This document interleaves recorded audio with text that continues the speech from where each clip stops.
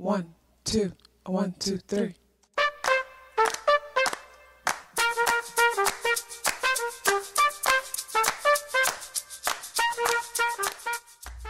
Self awareness is a superpower. My name is Kathy LaDonna. Welcome to Soul In Vibration.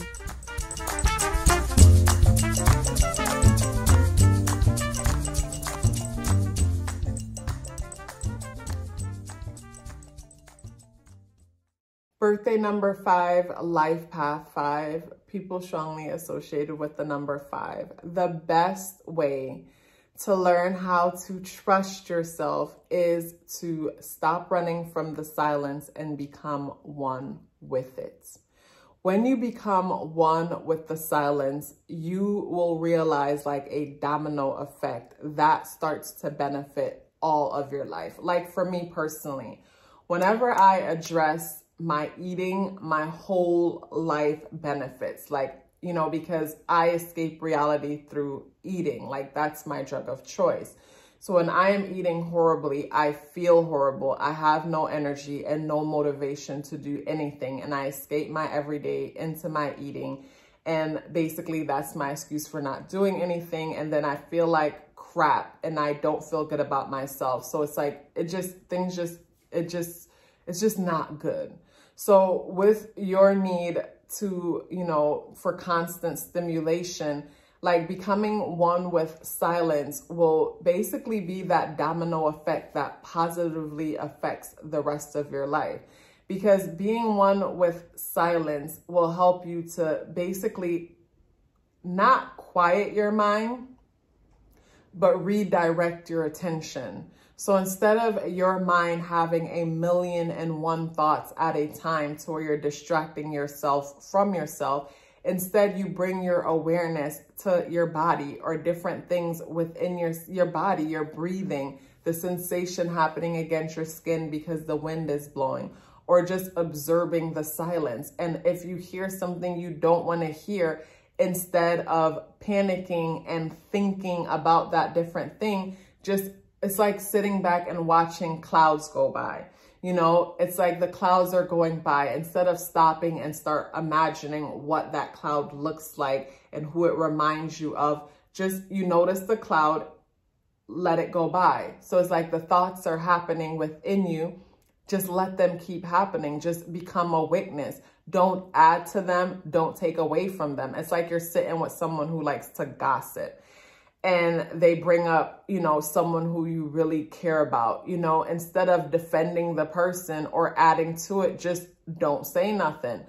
Just listen to them. You know, with you not engaging in the conversation, they're going to have to stop speaking unless something is interestingly wrong or going on with them. They'll keep chatting without you even engaging, and that's fine. You just witness. After a while, they'll catch on that you're not engaging, you're not feeding into this, and they'll have to stop. They'll tell you they'll call you back because they don't feel like they have your attention anymore. When they have your attention, you're just being a witness, you're not participating. So you witness your thoughts, you know, you witness your thoughts, you don't participate when you're sitting in silence. The more you do this, you know, and the more you bring your attention to your breathing or becoming a witness of certain emotions. And don't panic when you witness these emotions. Just witness them. Just become aware because our emotions and even our mind is like children in the sense that it wants our attention so bad. Like your mind, say you're in bed and you're trying to get some sleep. Your mind will make you think that everything is an urgent matter that you need to like all of a sudden at two in the morning you might think oh my god i haven't watered the plants in weeks. I need to water the plants now. Like i mean you haven't watered them in a week. so watering them now or in a few hours when you wake up is not going to make a difference. But the mind is so good at making everything seem so urgent. So you bring your witness to it. It's like a child that wants to play with you so badly and it's like you give your attention to the child. And when you give your attention to the child, the child gets bored and wants to do something else. So you become a witness of the way you feel so urgently, you the way you feel the urgency to do whatever. You you witness that feeling within yourself. but you don't engage with it. You don't exchange energy with it. After a while, it has to move on. So challenge yourself to start becoming a witness. Challenge yourself to become one with silence. I was going to say challenge yourself to defeat silence. No, you don't want to defeat your silence, but challenge yourself to become one with silence. So maybe every day you might say 30 minutes is, you know, where most people might meditate or not even 30 minutes, 15 minutes every day for 15 minutes, you sit in complete silence. You might be a five and say, I sit in silence all the time. You probably have a strong number seven in your chart somewhere, but the number five solely. Sit in silence for 15 minutes every day where you just sit there and you just observe, observe your monkey mind, observe how it's like a trickster, a child dying for your attention and also observe that your mind is just a tool when there is something else within you that is witnessing your mind. So in the process of witnessing that, the mind will have no, will no longer have as much power over you. And then that will limit your need for stimulation because your need for stimulation, whether it's drugs or sex or alcohol or however you escape your reality, those will become limited and those won't have power over you anymore because instead of getting, using those things to um, stimulate you or numb you from your, yourself, you're becoming better at sitting with yourself, being one with yourself and not judging the different thoughts and emotions and, you know, images that are coming in your head. You just witness without judgment. That's going to help you to take control over your need for stimulation, becoming this witness. And then the next thing is journaling. You know, you might start keeping a record of your different thoughts or premonitions or idea. You witness them and you write them down. Don't add to them. Don't take away from them. Just write them down. If you're a writer, maybe you want to incorporate them in your story writing, you know, but start recording them. You might find that your premonitions are accurate and you sense things and they happen.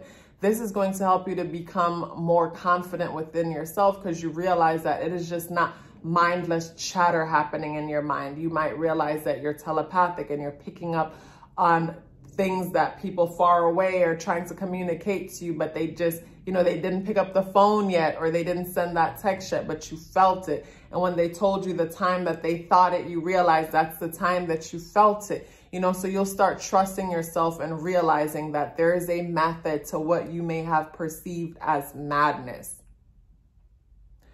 So yes, you becoming a witness and becoming one with silence at least 5 to 15 minutes every day and then upping it more and more will help you to not find the need to escape your reality.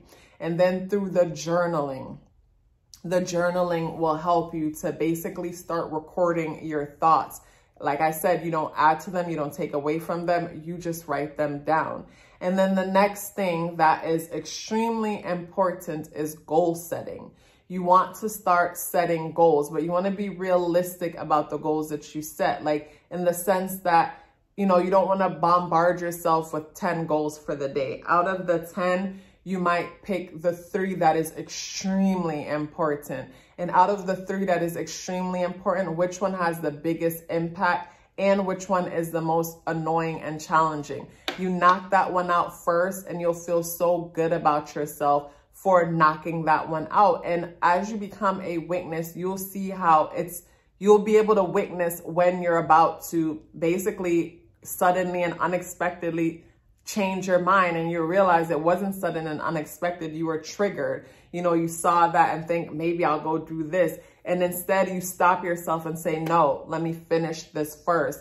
And then I'll get to that at some point where when you're done finishing this, you probably totally forgot about that and don't even go in that direction anyway.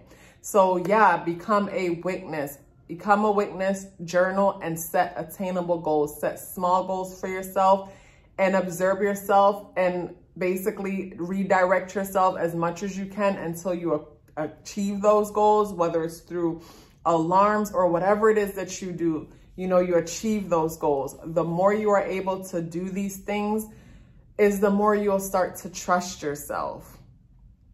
Number five, if you are still here with me, please drop me a green heart in the comment box below. I would love to hear from you.